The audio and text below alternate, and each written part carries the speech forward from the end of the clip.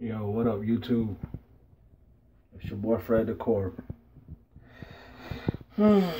so, I just got home from watching X Men Apocalypse, and before I do my review on this movie, I, I just want to I just want to talk about the things they got right in the movie. You know, I I'll, I'll do I'll give the movie that much justice. Um, first of all, I love Quicksilver. Like, he had an amazing scene. Like, top two best scene in the movie, in my opinion. Um, Quicksilver is great character, and I'm glad that he had more screen time in this movie, and he was actually like he felt part of the team. They got that part right. And about the other thing they got right was um, Hugh Jackman's five minute cameo with Wolverine.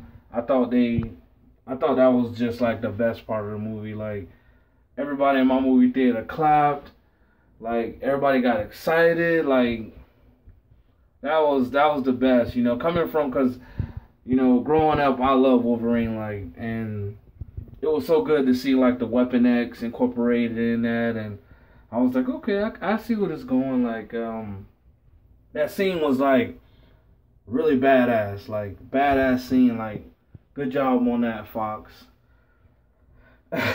now, probably, probably the, the only other good thing about the movie is um is Magneto. You know, um, what's what's crazy is that um, Michael um, Fassbender, this guy is a phenomenal actor. Like every time I watch, like when I watch Days of Our Future Past or X Men Apocalypse, is it me or just Magneto is just arguably like the most interesting actor or and character of anybody of the cast. Like it's like almost like I just wish Magneto had his own movie. Like, like this guy is such a good actor. Like I, I like his scenes like gravitates like it. You you you feel his emotion, his pain, his struggle. Like his story is so great. Like, and that's and and, and that's what I don't understand. It's like I just wish. I wish Bryan Singer would have never decided to do Apocalypse I wish he would have just explained Magneto versus uh, Charles Xavier, like, you know, like do more of that story, like, like Charles being the good guy, Magneto being the bad guy. Both want the best for mutants. Both have different views, like politics, kind of like politics. But when you introduce Apocalypse, now Apocalypse is one of the biggest, baddest villains in the whole Marvel in the whole comic book universe. Marvel, you know, like he's up there with Galactus. You know, he he's a badass. So it's like if you're gonna do Apocalypse, you have to do Apocalypse right. And when I at the at the at the post credit scene on Days of Our Future Past, when they showed Apocalypse in Egypt, you know, with the pyramids and stuff, I ain't gonna lie, I was fucking hyped like shit, like, cause I'm thinking like, oh my gosh, like, they got the technology, like, it's 20, 2016, 2015. It's like we we're there, like, like this is gonna be major, like, and so then you know the first couple pictures come out for X Men Apocalypse, and he looks like Ivan Ooze from the Power Rangers, and I'm like, what the fuck? Like, no way, Bryan Singer. No, actually, no way, Fox, 20th Century Fox. No way do you let Apocalypse, the biggest, baddest villain for the X Men, look like that. So I was thinking, so so so then you know, a few weeks went by, a few months went by. Bryan Singer, he he came to his senses and he's like, "Yo, I gotta switch up Apocalypse." So he made him look a little different, you know. So he switched the look up. But the thing is, is that I, I don't understand. Like, it's like it's like I got tricked because he switched the look up, but when I when I started watching the movie, he still looks like fucking Ivan Ooze from the Power Rangers. I'm like, no. I'm like, I'm like, okay, so so I try to get a movie a chance. So I try to look past the whole apocalypse look thing, and I tried to go for more of the script and more of the storyline. I try to dig into that because I can't um I, I can't gravitate to apocalypse how he looks, how he appeals to me because it's really fucking annoying. So, you know, as far as Storm goes, I don't like who they cast as Storm. Um, Alexandra Shipp or whatever her name is.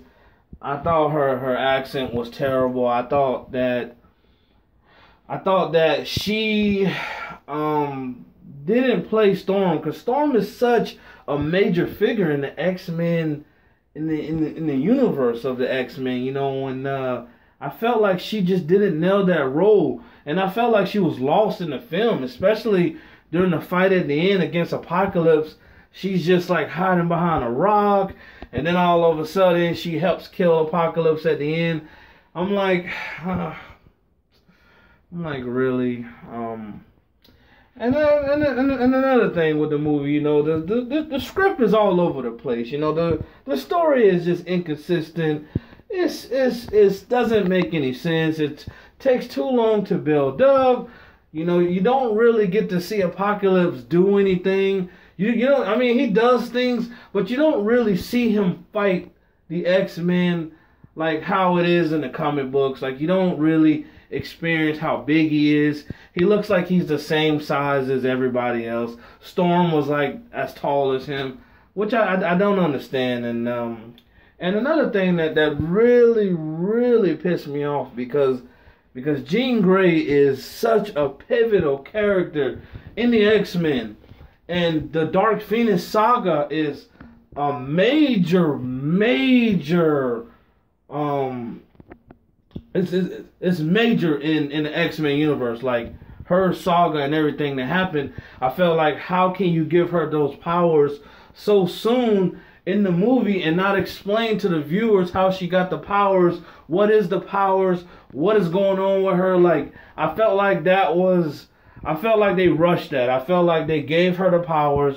She helped kill Apocalypse at the end, and I'm in the movie theaters confused well, you know, when you read the comic books, you know. But for the people who never read the comic books, they're wondering what the hell just happened with Jean Grey, you know, aka Sophia um, Turner, you know, which she's a great actor, you know, Game of Thrones, you know, Sansa Stark, which I love. Y'all know I'm a big Game of Thrones fan. But anyways, Bryan Singer, what the fuck, bro? Like, like I didn't like Cyclops. The guy who plays Cyclops sucked. I, I, I, you know, Oscar Isaac, you know, he he he did what he can do in the character Apocalypse. I didn't like that.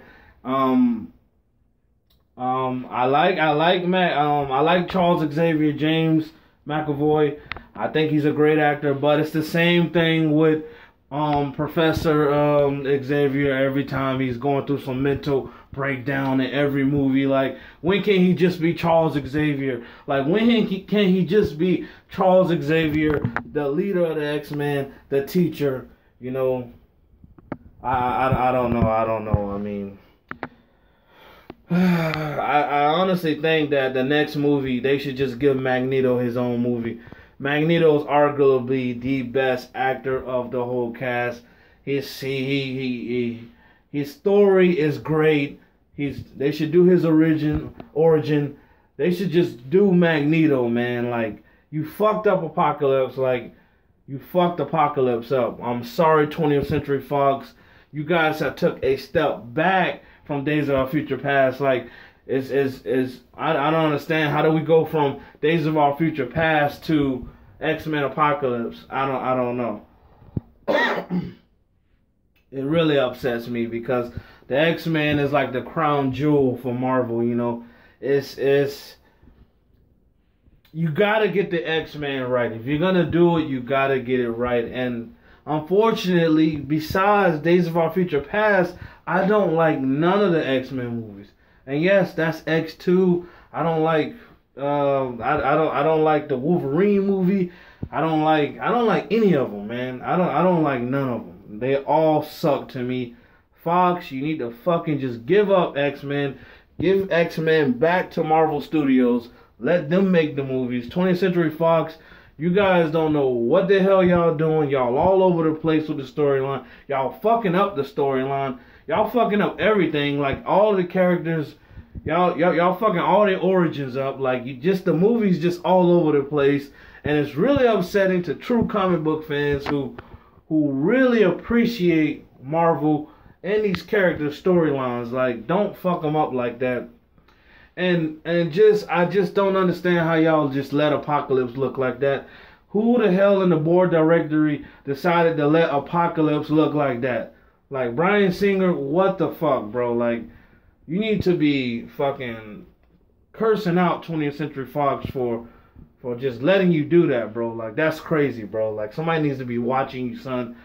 Like that is absolutely absurd. And I give the movie two out of five stars. I give it two out of five stars. I just can't fuck with it. So I mean, if you're going out to go see the movie, you know, I would I would say just take your time if you got class or school or whatever, or you got more important priorities, do that first. Don't rush to see the movie. Even if you got to, you probably can red box it, or most of you guys are probably gonna watch it on Showbox or or MovieTube or whatever, bootleg it. But man, I, I, I paid the money. Fox got me, unfortunately. But it is what it is. But hey, man, I miss you guys on YouTube, man. Subscribe to your boy. It's your boy Fred the Corp, man. Peace out.